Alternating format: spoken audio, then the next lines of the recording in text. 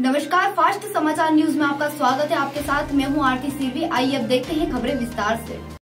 सावन माह के दौरान पूरे क्षेत्र में भगवान भोलेनाथ को प्रसन्न करने के लिए शिवलिंग का निर्माण कर पूजा आराधना किए जा रहे हैं।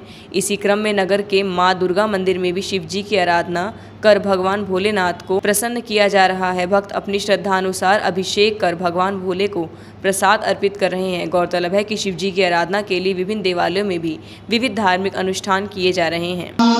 सावन मास में भी हम लोग ने भगवान शिव प्राण प्रतिष्ठा से पूजा की है और इससे मन, अपने मनवांछित फल की प्राप्ति होती है और ये सौभाग्य की बात है कि हमको कार्य करने मिला। नवरात्र में भी कार्यक्रम होता है। अभी फ़िलहाल यहाँ ज्योतिष शिवलिंग बनाए जा रहे हैं और रुद्राभिषेक का कार्यक्रम कराया जा रहा है। यह कार्यक्रम हमारी श्री शिव शक्ति दुर्गा मंदिर समिति द्वारा कराया जा रहा है।